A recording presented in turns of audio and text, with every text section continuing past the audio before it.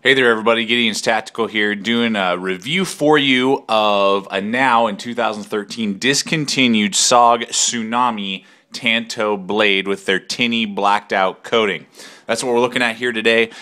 I'll give you some quick specs and we'll go ahead and jump on into this blade. We got an overall length of six and a half inches from hilt to tip, made out of 8 steel in Taiwan, flat grind with an overall length of 10.9 inches.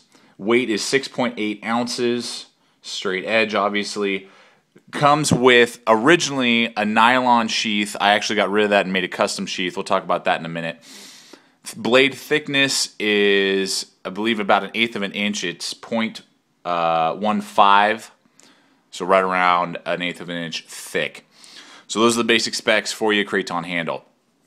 Let's go ahead and jump on into this thing. If you're looking for, if you like Tanto design blades and you're looking for a, a knife with really good reach, really sharp, great penetrating power, this is an awesome knife for you. Now, like I said earlier, I've checked a couple different websites where I usually buy my knives from, and I see that they are saying that this is discontinued, that I believe SOG is discontinuing the Tsunami and is no longer in production. Now, they're still pretty accessible, but if you're a Tanto fan and you've been kind of eyeing this, you need to pick it up quickly before they are extinct uh, and then you're only going to have options with the secondary market, and their prices are only going to go up and up as time goes on.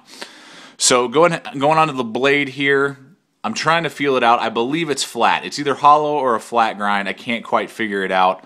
Uh, it, either way, it's nice and sharp, wicked sharp out of the box. It even gives you a slight bit of belly. Now, I'm not a huge fan of Tanto blades. I know some people are, just because of the lack of belly in these particular knives, but there is a slight sweep in the edge.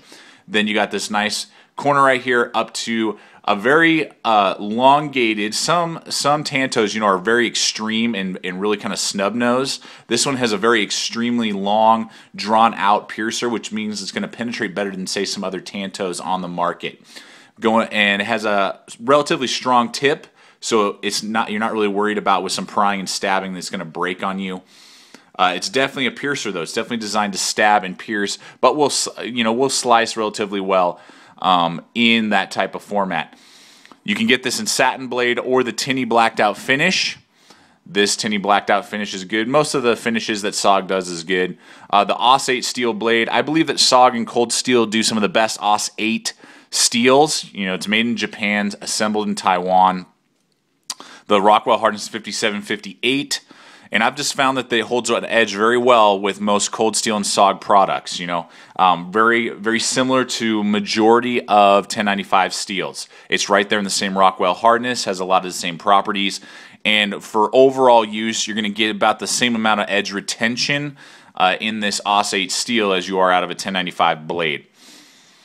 This is uh, just not a high carbon steel blade uh, versus this is a stainless steel blade versus a high carbon 1095. Going on to the thickness, you know, you are going to be able to do some batoning if you did want to take this in the wilderness. This is not a wilderness blade, though. This is definitely a fighting knife. You got an awesome uh, thumb ramp, not really thumb ramp, but jimping here. You can see there how aggressive it is. Look at how aggressive that jimping is right there, which is awesome.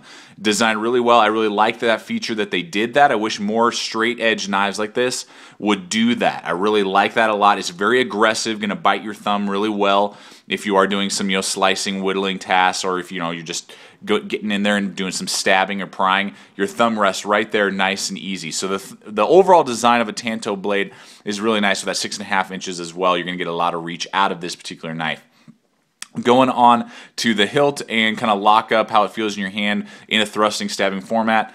Uh, this is the exact same hilt and handle construction that the SOG Northwest Ranger has, and that's really nice. You know, it's a little thin, does have a nice big palm swell though. Got really nice kind of digging, jimping, you know, so your hand kind of feels a little bit comfortable when it's riding up against there. You're Going to keep your hand from riding up against the blade but at the same time isn't crazy huge and you know awkward and big and you can easily get your thumb over the hilt which is what I really like so that if you did have to do some detailed work or whittling or carving you know that you can do that and you don't have a dual hilt you know rising up really high up here and then you're trying to reach over with your thumb and it's just awkward like a say like a normal KA-BAR would be KA-BAR utility knife. So the lockup is great for you know traction stabbing. You're not going to accidentally ride up on the blade. Tactical use it's great. The Kraton handle feels really good. You got really nice check checkering with the SOG logo. Feel, fills out your hand well. It is a little thin, so people with maybe extra large size glove hands may think that this is a little thin in the handle construction. I don't mind it at all. Feels relatively comfortable, regardless of I'm holding it in a reverse grip or in just a standard grip. Either way, it's going to feel really good. That Kraton will wear out over time, though. You are going to start to, over say, like maybe you know five years, a decade. Some of this checkering is going to begin to kind of wear off and rub off, and uh, you're going to have to come up with some sort of way to you know duct tape that or something to give you a little extra traction. It is full tang, got a lanyard hole, nice and big. You get paracord through there. No lethal, I mean non-lethal pounding. You know, you're not going to be able to nail in tent, tent pegs or something like that with this particular knife, or you know, hit someone in the temple. You could maybe do, but you know, it's just not really designed with a good pommel on the back. It's just boom, there it is, nice and round right there. So the overall blade, if you like Tantos, I would recommend it. Uh, you know, it's not not uh, anything fancy, just very basic in design. But uh, you know, this d- design, samurai designed, you know, a thousand years ago, and it's been around ever since. So for slicing, you know, in a you know, you know, combat situation, penetrating, stabbing, it's going to work really well with this SOG Tsunami. Let's go ahead and uh, talk about the sheath. Now, what, what this comes with is the exact same sheath that a SOG Seal Pup would come with, nylon with the pocket on the front, MOLLE on the back, belt loop, except for the SOG Seal Pup versions come with a button lash to keep the around the handle to keep the handle from falling out and the knife from falling out.